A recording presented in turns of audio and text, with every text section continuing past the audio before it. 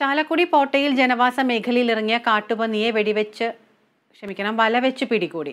സ്വകാര്യ വ്യക്തിയുടെ കപ്പത്തോട്ടത്തിൽ നിന്നാണ് കാട്ടുപന്നിയെ പിടികൂടിയത്. മൂന്ന് ദിവസത്തിലേറെയായി മേഖലയിൽ കാട്ടുപന്നി ശല്യം രൂക്ഷമാണ്.